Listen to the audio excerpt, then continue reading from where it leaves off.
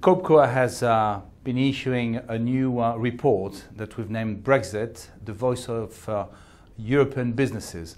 And that is an important uh, set of, uh, of results out of a long study where we interviewed and had roundtables with businesses across continental Europe.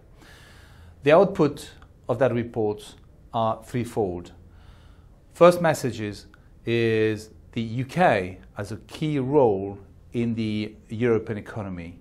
Key role because of uh, its financial capabilities, because of uh, all of its innovation and R&D centers, and because of the uh, pragmatism and the easiness of doing business with uh, uh, an open regulation.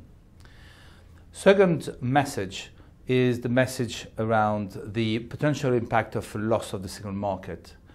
This is obvious for all of the businesses that it will have a negative impact on their business because any business in continental Europe is in a way or another interconnected, interdependent with a UK business for financial reasons, for part reason, for uh, service reasons, you name it. And the third element is a simple word, uncertainty. This came out of all of the mouth of all of the businesses. Uncertainty is something businesses do not like. So what they wish to see is better predictability. They need a framework so that they can get prepared for the Brexit and, if possible, to have a transition period in order to have time to implement these changes. So in short, businesses and European businesses want to be listened to.